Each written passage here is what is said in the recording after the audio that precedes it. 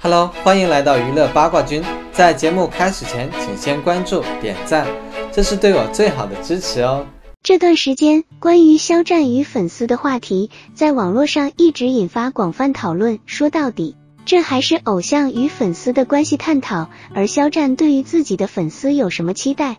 这个答案还是他的偶像孙燕姿带给他的。是的，肖战的偶像是孙燕姿。在之前某节目的录制中，肖战便曾追星孙燕姿，并将他们两人的合影分享给了广大粉丝们，连文案也只有“爱”一个字，并附带了许多感叹号。而这份粉丝与偶像见面的情感，许多肖战的粉丝应该也能感同身受，激动之情溢于言表。事实上，就在之前孙燕姿的线上演唱会上，以及肖战接受的一次采访中。肖战谈到了偶像与粉丝的关系，也无形之中透露了自己对于粉丝的期待。孙燕姿带给他的，他也同样想带给粉丝。肖战对于粉丝的期待是陪伴二字，孙燕姿带给他的，他也同样带给了粉丝。所以，肖战对于粉丝有什么期待呢？在那次采访中，肖战提到，二十年前陪着他熬夜补课的是他。二十年后陪着他工作加班的还是他，时光往复，历久弥新。在谈到这一点的时候，肖战的音量突然提高了，看得出来他比较激动。说起来，这还是很多人第一次看到肖战谈到偶像的意义，而这个意义也并非我们常见的骄傲、成长之类，而是陪伴二字。从多年之前到多年之后，长久陪伴。很显然，无形之中，肖战也挤得粉丝可以这样。这个答案是孙燕姿带给他的，而他也同样带给了粉丝长久陪伴、历久弥新。不过，值得一提的是，肖战在提到偶像的时候，并没有直接说出孙燕姿的名字，他做了一个虚的动作。但是，所有人都知道这个答案。这一份心照不宣，既是不想去打扰到别人，来自于肖战骨子里的那份谦卑与礼节，也是他对于偶像的那份长久感念。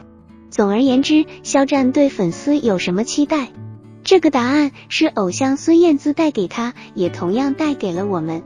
近日，由人民名义官方微博发布的动态中，就有这么一个新活动，集齐了大半个娱乐圈的明星艺人加粉丝的高度关注。最引众人关注的明星，大概就是当下处于整个舆论中心的肖战了。他的好大家都看得到，只是有的人被蒙蔽了双眼，所以选择性忽略。这却不妨碍大家对肖战的支持与欣赏，依旧为他加油打气到底。就比如说，近期引起圈中人士关注的金扫帚奖，肖战出演的《诛仙入列》，但是这部电影的优秀之处已经被大家看到了，走出国门便是最好的证明。所以说，我们不管外界声音如何，只需要做好自己，依旧选择肖战就可以。把这个奖项抛诸脑后，我们再来看由人民名义发布的新活动消息。有网友根据众明星姓名字母排序的规律，测出肖战出现的时间大概是七月十五号第三个，如今才二号，所以还早。说到由人民名义官宣的这个新活动，相信大家与小编一样，内心都非常期待。毕竟我们在官方微博发布的宣传视频时看到了新鲜的肖战，虽然只有短短的几秒，镜头也是基本一闪而过，但是却能让我们及时的捕捉到肖战的身影。如果看第一遍视频时就能够将肖战的身影认出来，小编认为这一定是真爱粉没错了。也许有小部分网友和小编一样属于近视眼，得看几遍才能清楚的认出并确定。那就是我们日夜思念的人儿呀，因为镜头播放速度稍微偏快，所以多看几遍也没。距离人民名义发布新活动，也就是回归初心人民名义系列文化公益活动，已经过了一段时间，但是大家对肖战的出现依旧在时刻准备着，因为该活动的主办方是隶属于重量级单位，知名度和公信力都非常强大，所以获得大家的认可与支持也不是没有道理的。更何况，肖战的任何一个新活动都值得等待呀。据了解呢，本次新活动参与的明星共有百余人，每天助力的人数是六个，而且是按照姓名字母排序进行。所以，小编看到网友的消息时，特意去看了一番。还仔细数了一下，确实是第八十七个，有可能是这个月十五号第三个出现，与网友所说的一致，不得不为网友摁个棒。因为大家太思念肖战了，所以在有他可能出现的地方，都会有形影不离的脚步。但是，小编想要告诉大家的是，既然人民名义发布的动态中，我们看到每天只有六个明星艺人助力号召宣传公众公益，那不出意外的话，近段时间想要看到肖战，还需要等待一些时日。最近肖战的两部电视剧《斗罗大陆》和《余生，请多指教》。接连提上了日程，自是有人欢喜有人失望。这一个欢喜当然指的是粉丝，在饭圈有一个术语叫做“粉丝提纯”，它的意思就是指每一次大事件之后，艺人的粉丝都会有去留，离开的就离开了，留下的则更的喜爱支持这个艺人。在二八二十七事件之后，肖战的粉丝群也经过了一次提纯。直到如今还依旧粉着肖战的这些粉丝们，饿了四个多月没等到几次肖战露面，这次两部剧要出，自然是欢喜的。如今这两部剧，一部是小说改编的《斗罗大陆》，另一部则是当初别朝过医疗方面不专业的余生，请多指教。这两部中，前者作为一部微剧本身就有着巨大的商业价值。肖战在这部剧里扮演主角唐三，只要播出，无论演技如何都会得到很大的曝光度。而后者这部医疗剧虽然被嘲摘口罩的姿势都不对，但是与肖战搭戏的女主演从来忘搭档，可谓在玄学上也是个提升咖位的好机会。近期肖战的光呼升级了，这个颇有意趣的社区因为肖战的歌曲光点而成立。简称光呼，而现在看到它升级了，粉丝也是感叹，这便是一点一亿的配套服务。事实上，光呼升级主要是两个方面，一个是增加了搜索功能，让大家可以搜索相关话题和工会，不至于自我翻找；另一方面，则是增加了收藏的功能，只要在光呼中看到好的话题或者看到好的工会，都可以进行收藏。这样做同样能够方便听众，免于复杂。看到这样的升级，粉丝们自然心领神会，进行调侃，这是一点一亿的配套服务。说起来，之所以会有关乎这个，因为肖战的歌曲《光点》这首歌不仅在音乐领域创造了奇迹，将数字专辑的销量拉升到了一个很高的层次，销售额突破一点一亿，而且也实力出圈，纷纷被一些官媒所采用。这也是一点一亿这个数字的由来，销售额第一的配套服务也成为了调侃。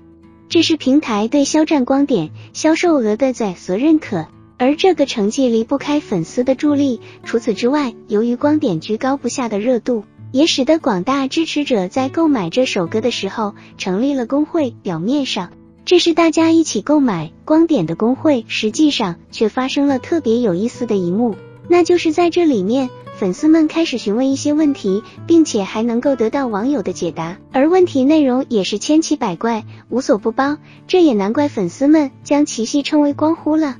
其实，关于肖战光呼升级是一件比较细枝末节的事情，但是我们依然能够管中窥豹，一叶知秋。毕竟，在真正能够取得成绩的时候。或者说，能够将销售额达到一定层次的时候，是可以获得品牌垂青或者平台升级的。明星的商业价值同样能够得到应有的青睐。所以看到关乎升级，粉丝们调侃这是一点一的配套服务。我们既认为这是平台对于肖战光点销量的赞许以及认可，也能感受到肖战光点取得的成绩中亦离不开广大粉丝的助力。再次为肖战和肖战粉丝点赞。近期，肖战两部待播剧的关联词发布了，一个是播出，另一个则是山雨欲来风满楼，都是相当有意思的关联词。关于肖战的这两部待播剧，分别是《斗罗大陆》和《余生，请多指教》。前者是古装玄幻剧，后者则是都市情感剧。